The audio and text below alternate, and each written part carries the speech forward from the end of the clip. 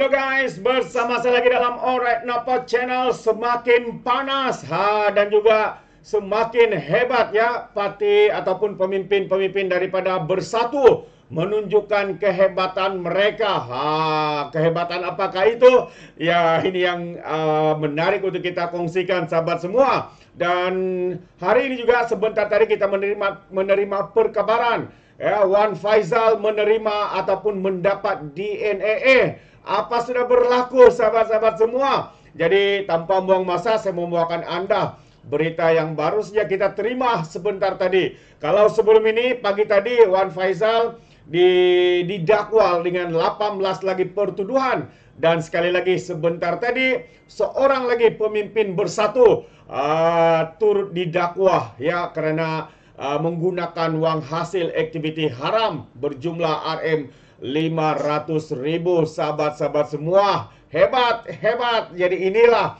sebenar kehebatan yang diserlakan, ditunjukkan, dipamerkan oleh pemimpin-pemimpin bersatu sahabat-sahabat semua. Ah, geng-geng sapu bersih ini. Jadi hari ini berita menyatakan pemimpin bersatu didakwa guna wang eh, apa ni? Guna wang hasil aktiviti haram berjumlah RM 500 ribu. Saya putar Halim. Wang besar, wang besar. Itu dia hebat, hebat. Jadi, Timbalan Ketua Bahagian Bersatu Segambut Adam Radlan Adam Muhammad didakwa lagi di mahkamah seksyen di Kuala Lumpur hari ini atas pertuduhan menggunakan wang hasil daripada aktiviti haram berjumlah RM500,000 dua tahun lepas. Adam Radlan yang berumur 42 tahun yang juga ahli perniagaan mengaku tidak bersalah selepas pertuduhan terhadapnya dibacakan di hadapan Hakim Rozina Ayub. Mengikut pertuduhan, dia didakwa telah menggunakan wang hasil daripada aktiviti haram berjumlah RM500,000 dari akaun CMB Bank Berhad miliknya di cawangan CMB Bank, uh, CMB Bank Berhad Bukit Tunku di Kuala Lumpur antara 2 Disember 2021 hingga 2020 hingga 22 Februari 2022. Wow, baru saja menjadi kerajaan sahabat-sahabat semua. Ya, sudah terserlah kehebatan menyakau wang rakyat. Pertuduhan mengikut Seksyen 4 dalam kurungan 1 dalam kurungan B Akta Pencegahan Pengubahan Wang Haram dan Pencegahan Pembiayaan Kegenasan dan Hasil daripada Aktiviti Haram 2001 dan boleh dihukum di bawah Seksyen 4 dalam kurungan 1 Akta yang sama. Seksyen itu memperuntukkan hukuman penjara maksimum 15 tahun. Bukan satu, bukan dua tahun, 15 tahun.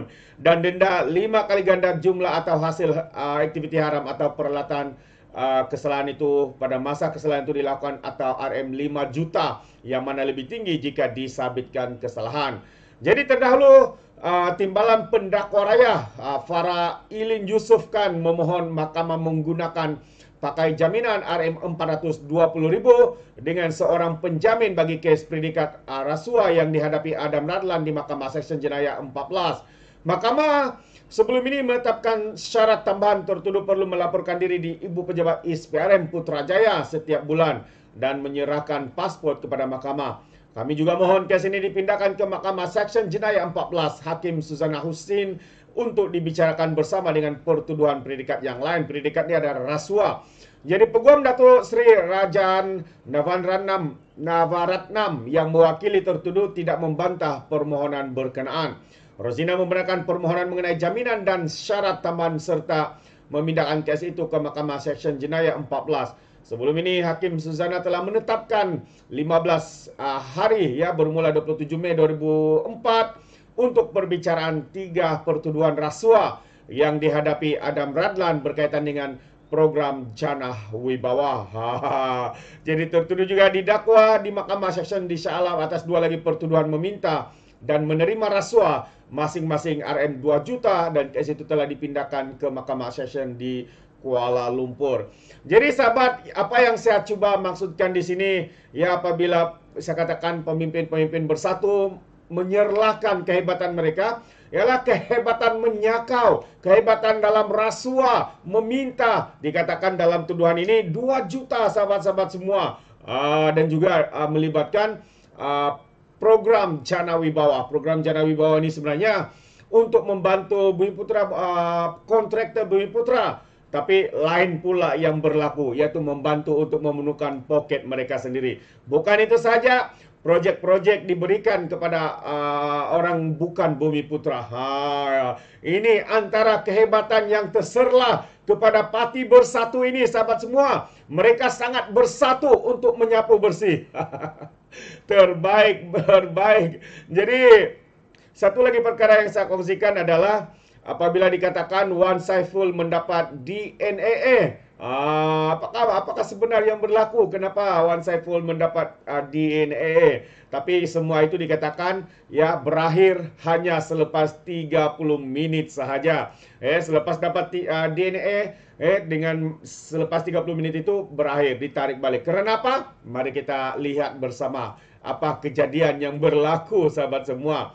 Jadi ralat pada sistem komputer mahkamah menyebabkan pemimpin bersatu Wan Saiful tersenyum mendapat status dilepas tanpa dibebaskan oleh mahkamah hari ini. Bagaimanapun, ia hanya untuk tempoh singkat 30 minit. Pada permulaan prosiding mahkamah, berlaku kesilapan. Ah, kesilapan pada sistem komputer yang menyebabkan 18 pertuduhan terhadap pengubahan wang haram terhadap Wan Saiful tidak dapat dibaca yang menyebabkan hakim Mahkamah Session Kuala Lumpur Azura Alwi membuat ke, uh, membuat keputusan DNA sementara menunggu kes dipindah ke kamar mahkamah yang lain. Ah disebabkan ada masalah komputer dan selama uh, tertangguh selama 30 minit. Jadi dalam masa 30 minit itu ya Wan Saiful mendapat DNA. Ah selepas ya, uh, kemudiannya mereka bertukar bilik. Jadi pembebasan itu bagaimanapun hanya ber, uh, bertahan sebentar saja. Pertuduhan terhadap Wan Saiful kemudian dibacakan, dibacakan sekali lagi di hadapan Hakim baru Suzana Husin. Bekas Ketua Penerangan Bersatu itu mengaku tidak bersalah dan mohon dibicarakan bagi semua pertuduhan. Bercakap kepada pemerintah selepas dituduh, anggota Parlimen Tasik Gelugur mempersoal bagaimana semua itu berlaku katanya. Kalau sekiranya ini dirancang dengan baik, dilakukan dengan baik, saya rasa tak jadilah, tak adalah, tak adalah sampai DNA buat sebelum dituduh. Saya tak saya tak tahu ada orang lain pernah kata kena DNA tanpa dituduh katanya. Ha. Ya ada. Ya mungkin dia lupa orang yang sedang bercium berpeluk dengan kamu. Ha iaitu MP Arau juga pernah. Dan bukan itu saja, ada beberapa kes lain juga.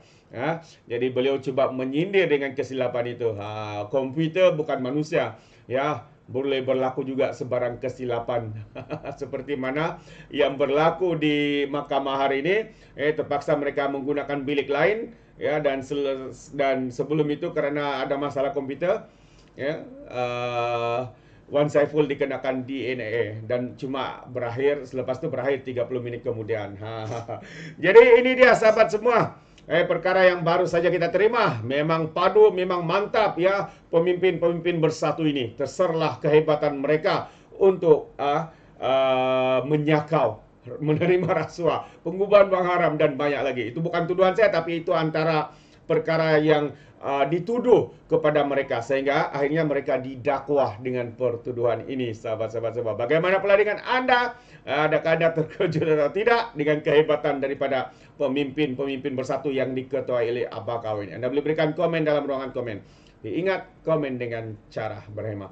Alright, sampai di sini saja izinkan saya untuk uh, mengundurkan diri dan seperti biasa peribahasa mengatakan tapapun cangkap dua ton keinginan. Dalam bahasa Melayu tepuk dada tanya selera. Sekian saja daripada Orang Apa Channel. Kita berjumpa lagi. Bye-bye.